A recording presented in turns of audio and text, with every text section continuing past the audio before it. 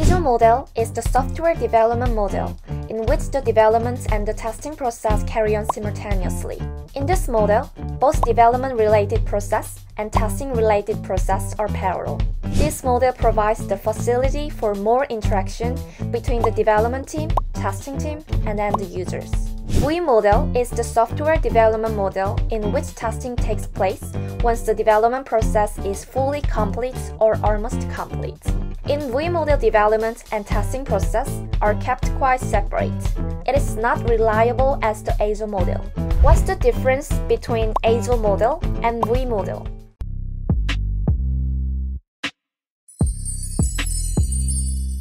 Agile model is a software development model in which development and testing are concurrent. V model is also software development model, but development and testing are not concurrent. Agile model consists of different sprints. V model has two phases, verification and validation. Testing is easy as compared to V model. Testing is hard as compared to the Agile model. Agile model consists of a total of five phases. V model consists of 5 verification and 5 validation phases.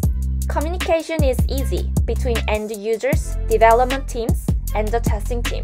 The development team and testing team don't interact much with end users. Developers and testers are dependent on each other. Developers and testers are independent. It is iterative.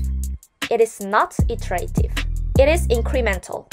It is not incremental.